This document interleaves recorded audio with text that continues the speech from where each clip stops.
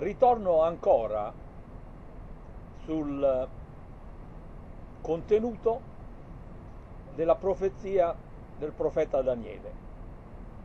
Ritorno perché in una delle mie eh, discussioni precedenti io avevo letto male il suo testo e invece di leggere 1335 giorni, quelli mancanti alla fine e quelli fortunati a chi arriva a quei giorni lì, invece di calcolare quelli, io ne avevo calcolati 200 in meno.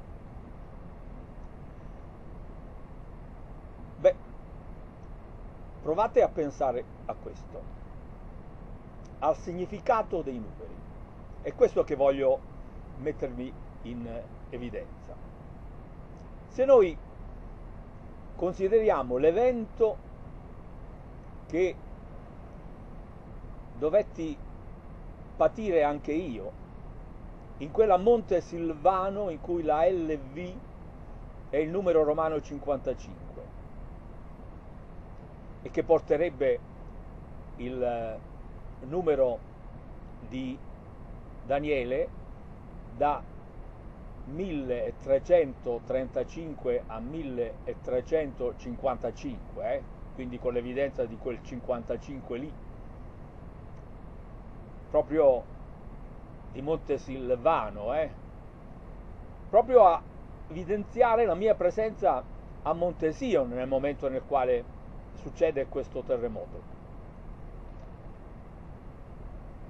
Provate a pensare che cosa significa il fatto che mancano 20 giorni, cioè che il terremoto è successo il 6 e non il 26, che si ricava se dalla fine del tempo noi sottraiamo 1335 giorni al termine del 21 dicembre 2012 e arriviamo così al 26 aprile del 2009, mentre il 6 aprile 2009 c'è stato il terremoto che ho avvertito anche io. Beh, cosa significano questi 20 giorni in più? Ma io l'errore che avevo fatto era stato di toglierne ancora altri 200. In sostanza, io, togliendo 220 giorni al terremoto, arrivo a quello che avevo detto, ossia a un anno esatto prima del miracolo dei 153 grossi pesci che io attendo per questo 13. Analogo poi a quel 13 che abbiamo visto prima nel, nelle 13 centinaia più le 55. Mm? Se noi togliamo 220 al terremoto, arriviamo proprio a questo 13 di novembre, che è quello che avevo detto in precedenza, di stare un anno esatto, dal 13 di novembre del miracolo. Se calcoliamo i giorni, ecco che cosa succede che bisogna aggiungere per arrivare esattamente al 13 di novembre prossimo, questo della parusia, è per intenderci,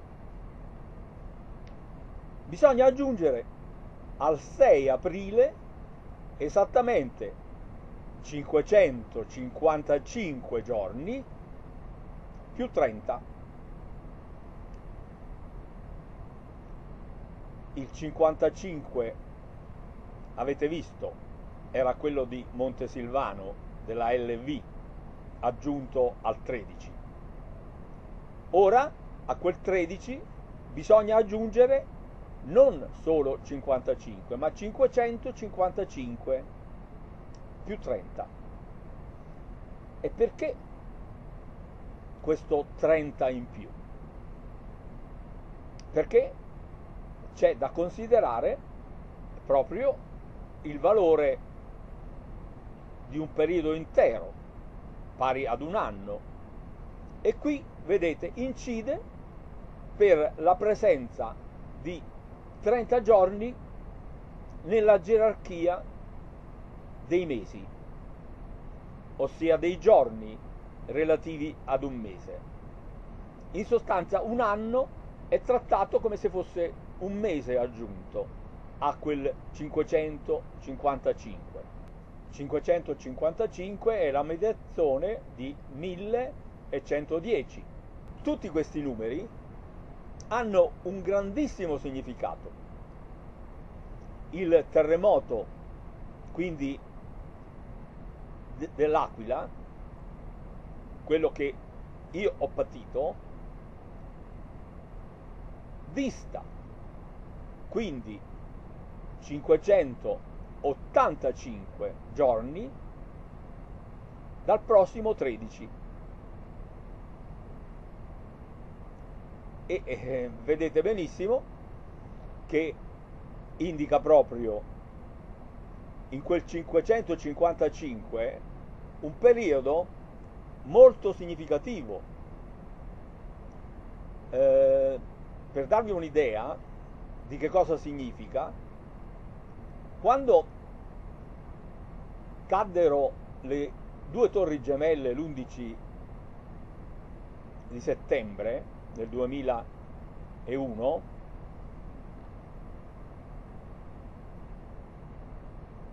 la reazione degli Stati Uniti con il bombardamento dell'Iraq ci fu esattamente 555 giorni dopo. Quando io fui cacciato da un coro e il sacerdote mi impedì di entrare dicendo che nessuno ce l'aveva con me, ma ero di un'altra parrocchia, quindi tornassi alla mia parrocchia. Il mio peccato era stato solo quello di avere tentato di aiutare una maestra troppo suscettibile, troppo orgogliosa per accettare serenamente un aiuto da parte mia, a dimostrarmi quanto non bisogno lei aveva del mio aiuto, in cambio lei operò per farmi cacciare dal coro. Ebbene, da quella sera in cui l'autorità del parroco si impose al giorno in cui ci furono le conseguenze di questo gesto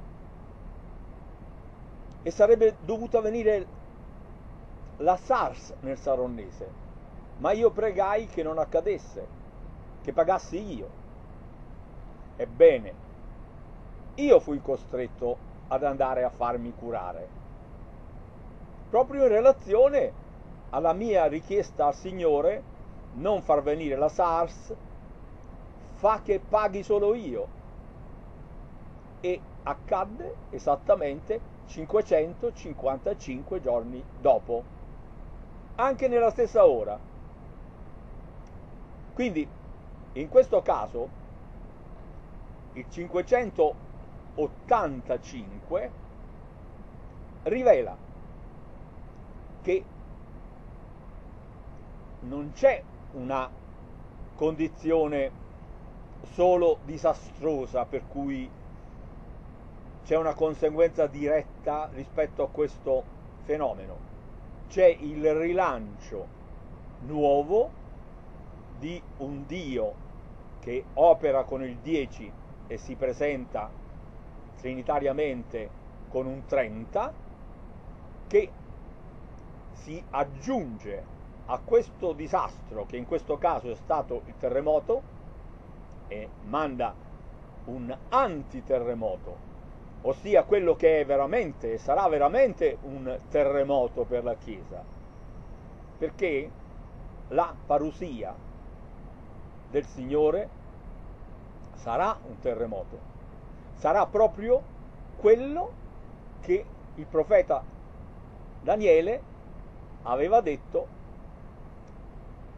nella previsione di tempi nuovi, in cui tutto finalmente sarebbe poi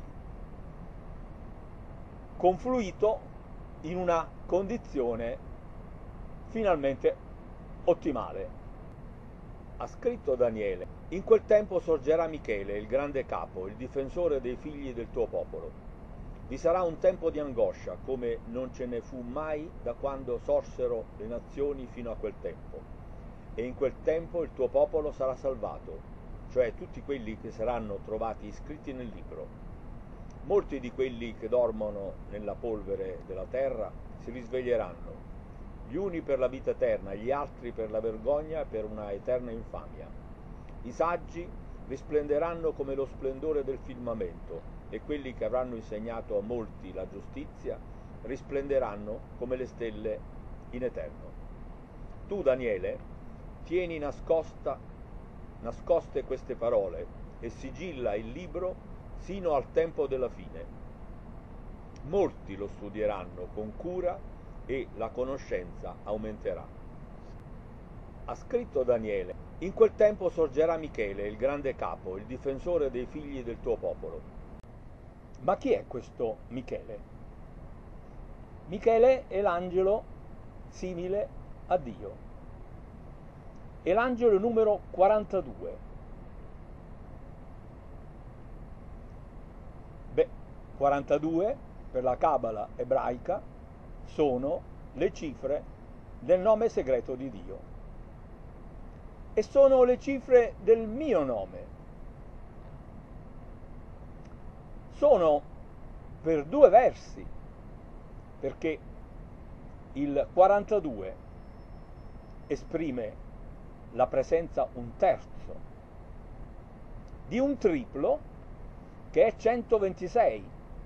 Vedete il 100 piano di Dio e 26 Dio, ma un Dio che diventa assoluto se gli si aggiunge l'unità. Per cui diventa 127. 127 esprime proprio tutto il piano 100 con un lato 50 e l'altro lato 50 in cui il flusso è esattamente tutto per 3 al cubo. È un valore assoluto.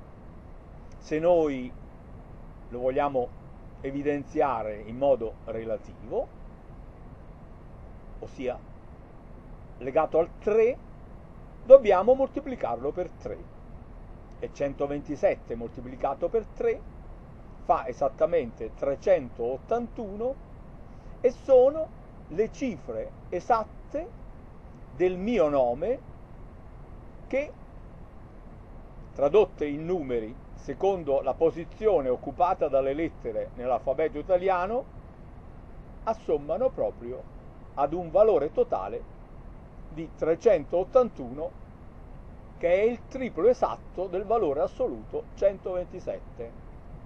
Per cui l'angelo Michele, angelo numero 42, quello che deve arrivare, quello atteso, sono io. E risulta esattamente dalla previsione del profeta Daniele. Vedete, io romano sono l'atteso romano ele e Manuele, perché la Ro assomiglia alla E, che è Israele se al posto della mano si mette Ra, Romano Amodeo. Allora Israele è, per il mondo è Romano Amodeo, Dio. Io sono l'atteso Emanuele.